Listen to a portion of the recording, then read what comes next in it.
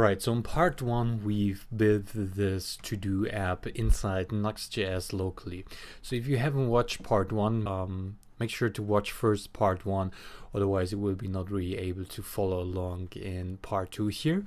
Because in part two, we will take care to connect our app to a database, in this case Firebase, just like mentioned in the uh, first part of this uh, tutorial series. So currently we have the app and everything is working. I can add, um, actually I have here a bug going on, but we can add uh, new to-dos and we can remove them. Let me quickly actually fix that because I think I have played around here and forget to remove the changes I made. Alright, now it should work. So if I add here protein shake we get the protein shake and if I say coding with code campbase we get this to do as well and of course I can click on them and it will remove it again. I've played around a little bit and uh, have to fix here a few things in order to make my app work again but if you have watched part one you know that everything is actually working. All right so in part two we are going to connect the database uh, to our app because currently um, if I add any to do here and refresh the app, you will see that it will be removed again. That's because we are just uh, having a local state, but it's not connected to any database or whatsoever. So in this case, the first thing we need to do is to head over to firebase.google.com and make sure to sign up an account. And you can uh, create up to 10 projects completely for free. And you can even request uh, to be able to create uh, more projects uh, for free. Uh, you simply have to fill out a form and make a request. Um, I did that and they actually approved that so I can create up to like 20 projects or something like that. So I already created create like a, a, test database, but for this tutorial I will also create a complete new project just in case you have never touched Firebase or you're not familiar how to do that. So let's click here on add project. Then we need to add here uh, project name. Uh, let's just call it Nuxt to do tutorial in my case. And then let's click here on continue and here as well. And then let's select the account and let's create project. And so this takes a little bit longer sometimes. In the meanwhile, we can head over to the console and say yarn add firebase and press enter. I already did that, so I don't need to do that. If you use npm, you can say npm install firebase and then make sure to add the save uh, flag. I will start the server again and Firebase should be already finished. There we go. Let's click on continue. And so the first thing you always need to do is to click here on this gear icon, then on project settings. And here you can choose between different environments, Unity, iOS, Android, and web related environments. Um, obviously we need to choose here the web environment. And then let's call it just Nuxt app, Nuxt to do app, register app, and then we can copy here these credentials. Uh, let's click here. Actually we got the here the credentials. So we don't need the script or anything because we will initialize uh, Firebase from our own environment. So all we need to do is actually just to copy this here. And then let's head over to the text editor. And I will close here everything first off. And then inside uh, plugins we can create a new file called firebase.js and here I can import first off Firebase like so. And once we have done this we can just paste it here in.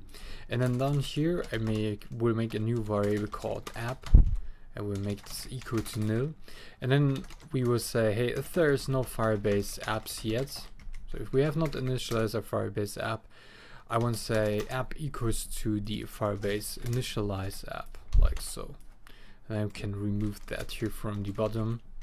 And with that we are pretty much finished. The only thing you need also to do always if you add Firebase to your Nuxt app is to head over to Nuxt config.js and here on the plugins we need to add the let's see how can I get the root sign? There we go.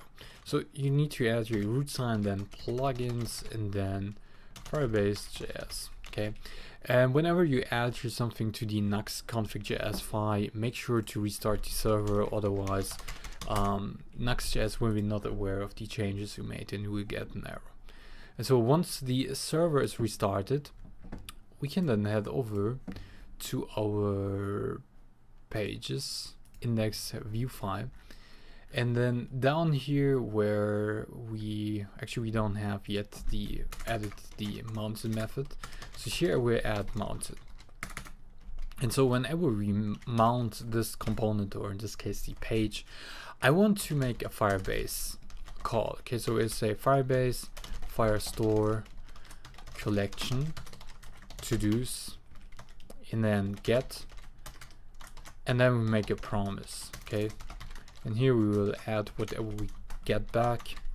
And for now we just console log that okay? Just to confirm that we have connected firebase uh, correctly and that everything's working. Now in order to be able to fire this off we also need to import firebase. So again firebase from firebase app. There we go. And with that we should already get now a console log back. So let's open up the inspector and we already got here an error. Firestore is not a function. Um, that's because we also have to add firestore so import firebase firestore okay.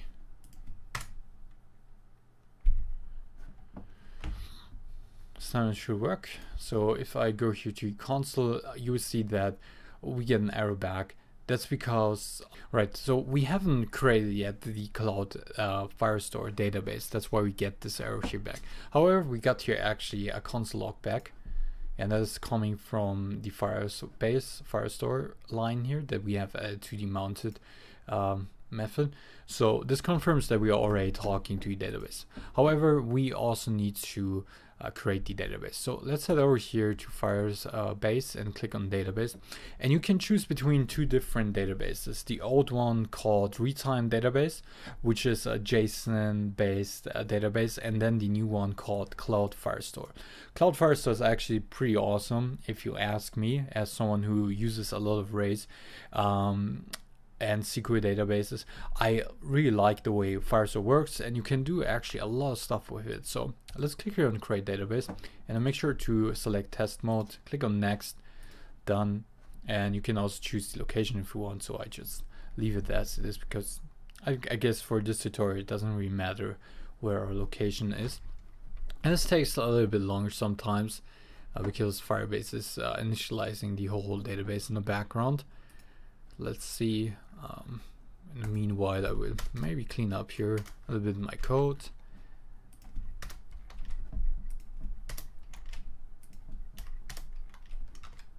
Alright, so Firebase is now finished. So let's click here on Start Collection and call this one To-Dos. And then I will click here on Auto ID and then let's call this field To-Do and let's say uh, Protein Shake. Uh, let's click on Save. So with that we have created our first document and now when I refresh the app we no longer should get first of the error uh, we get now our um, callback here. Okay and as you can see the array is one so it already recognizes that we have one document inside there and because we get an error with the response back what we can do is we can say res for each and then we can console log x.data. And with that we should get back the first to do, there we go, it's protein shake. And we can also just grab the to do, so with that we get the string just back, protein shake. Okay, so now that we have done this, what I want to do is I want to push whatever we have inside here to our um, store state to do. So I will grab that and remove that here from mounted. And then let's head over to store mutations. And inside here um, where we say set to do I will paste it in. And then I will instead of console log that I will push whatever we have here um, from the data. I will push the to do like so and with that, let's refresh the app and let's see what we get. Actually nothing because we don't call this yet, I think. So when we mount, I won't say this dot store commit set to do. And because we no longer really need a payload, I will remove the payload here, like so. And we just want to push what we get back from Firebase. And we get Firebase not defined, so let's just grab that here quickly from our index page and paste it here inside our mutations file. And now we get do not mutate via store state outside mutation handlers. Right, so let's refactor this. I will grab this here one more time actually. And here I will just leave the state push to do's and push the payload just like we had it before. Seems like this setup is not uh, really working. Um, so again, back here inside mounted, let's just paste it in one more time. And then instead of pushing that here to state and things like that, let's uh, make a store commit and here I would paste in the response data to do. Okay, normally with that we should get back the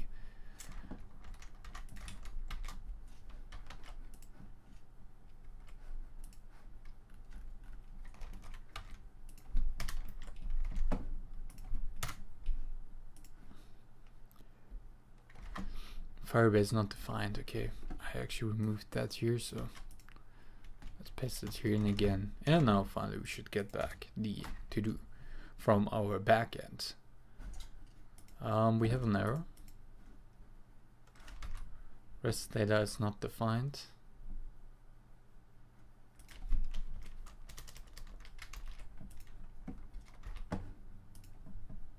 And now finally works. Okay, we get the protein shake back, which is inside here. I can add another document and say um, workouts and with that actually it's called to do and here workout and with that if I refresh this again we get the second new to do back as well. Alright so let's refactor our code here. So this we need to do basically the same for when we um, create a new document. So here I will just paste it in and say add and then we need to make a callback. And here we need to say firebase firestore collection introduce document and here we paste just in the response ID and then I will say set.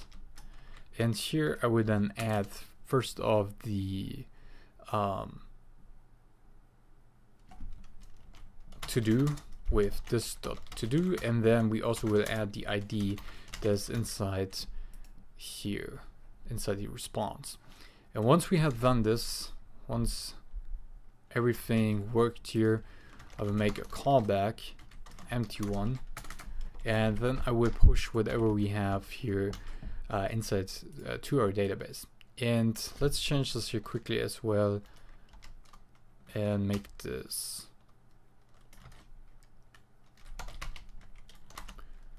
an array with different attributes. So here we say this dot to do, and for the ID I would uh, say res ID.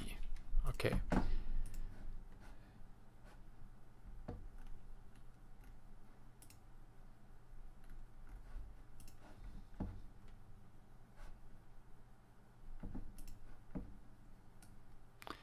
And here, let's change this as well. Let's say to do equals to payload to do and the ID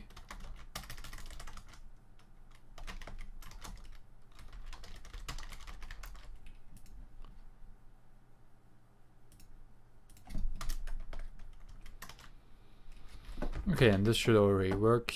Let's see. Um, when I add now a new to do, hello, you see it worked. We got the new to do, hello, and the ID back. And when I refresh that, you see that it stayed there because we pushed that to the database already, okay? Which is pretty awesome, right? Uh, so everything's working. Uh, we can add new to-dos and it's automatically you know backed up with our Firebase uh, database, which is pretty awesome if, if you consider how, how long it actually took was pretty quick to do, right? So everything's working here. All right. So we have done that. Um, since we are pushing now the to-do ID and the to-do um, itself, we need to grab, I think here, the to-do itself.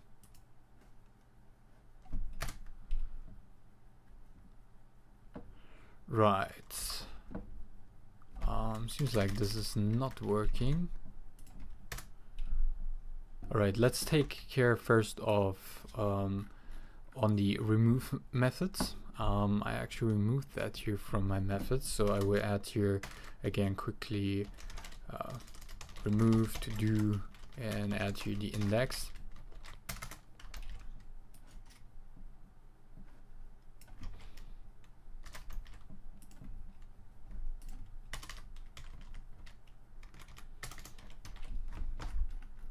Like so. And before we simply called inside mutations remove to do, right, and then adjust the index here. But now we need to change the, this logic a little bit. Um, so I will grab this here again and paste it in. And here I will remove add and instead I will say um, document and here I want to add the to-do ID and then I want to say delete okay? And then I will add a callback. And with that we pretty much have deleted the document whenever we click um, the uh, specific document or specific to do. Um, but we also need to push that now to our store right? So that we update that as well. So here I will say again this dot store commit and then remove to do and then here I will add the index. Now we also need to grab the to do ID so I will also add here the to do and here where we make the call let's add the to do I already did that actually. So not only we should get back or should be able to remove um, document, but we don't. Let me quick double check here what's going on. All right, so um, I had to pause the video here because I had to play around with it a little bit um, because kind of like something was not working the way it should work. Um, so all I actually did, so I kind of like refactored the code here. Okay, um, so here inside the sub method, I said this store commits um, add to do and then I added the to do attribute like so and then the ID attribute like so. Okay? And then inside mutations um, what I did is I said here state to do's push added here to do um, ID and then also the ID itself like so. So simply pause the video and retype that. Um, with that we get now this here back okay? Um, we have now basically the array. We have all these attributes here. And what's very important is that here where it says set to do, I've also changed that here inside the mounted function um, to x.data because uh, our uh, document has now two fields, right? And so I simply push that now to our local um, store and now we can grab that okay? Now it's saved inside the uh, to do itself. So I can now say dot to do and this will give us back just the title okay? And if I say dot uh, ID it will give us back just the ID which is exactly what we want. Okay so now that we have stored the data what we can now finally do is we can just to confirm that everything's working say here alert whenever we want to remove something and we want to alert the to-do attribute. So if I click now on one of these, we get an object object back, which is very good. If I say dots to do, we should get back the uh, title or to do itself. And if I say now ID, we should get back just the ID, which is exactly the case. Right, so with that we can push that now to our store. So first I will delete that on Firestore. So we simply say, hey Firestore um, collection to-dos in a document I want to get the to-do ID document. And then we can use delete which is a method um, Firebase provides. And then we can console log um, successfully deleted uh, document. And then we can basically make a callback. So once that is finished um, actually we can do it here inside console where we console log that. Uh, we can add here the commit word we can say hey this dot store commit. And then we want to remove uh, basically just the uh, to do that we had just like we did it before. Okay so I can say here um, remove to do remove to do and here I can then add the index again. And so this should also locally update the store uh, from from our state management library. So let's try this out. So if I click on A First off, you notice that we get successfully deleted uh, documents, then the uh, to-do disappeared, and we also deleted that on the database. So if I click on this one, you see it also deletes it on the database, and if I refresh it, everything should be still working. All right, there's a little bit of delay, as you can see, but um, when you go to websites that use a modern front-end framework, you oftentimes notice that um, you could use a loading icon in the in the meantime. Uh, but yeah, everything's working. I can add now a protein shake. I can. We have one error, and that is because yeah, right. I found the issue here again. Um, this time I also removed here the semi uh, quotes from uh, the single quotes from uh, our two attributes. Okay, so before I had these uh, single quotes here and I simply removed them and now uh, we get immediately the payloads uh, back when we add a new to do okay so we no longer have this issue and it's still uh, pushing it to the database. All right so this is pretty awesome if you ask me especially how long it actually took overall. We were pretty fast. And yeah i would call this app now pretty much complete. We can add new to-dos. We can remove them. They will be deleted on our, our database and also inside our app. And we can always add new to-dos and remove existing to-dos like so. Yeah and yeah everything's working right? All right so this two parts here is hopefully showed you how to build things or more or less a simple app in Nuxt.js and how to use Vuex in Nuxt.js and also how to connect it later on uh, with the database, in our case, uh, Firestore. And I hope it was also a lot of fun for you to create this app because I really enjoyed it. Um, and yeah, I plan actually to do much more stuff in Nuxt.js and also to some degree modern front end stuff. Uh, so yeah, if you have enjoyed it, if you have learned something, make sure to subscribe and like. And yeah, as always, thanks for watching and see you maybe next time. Bye.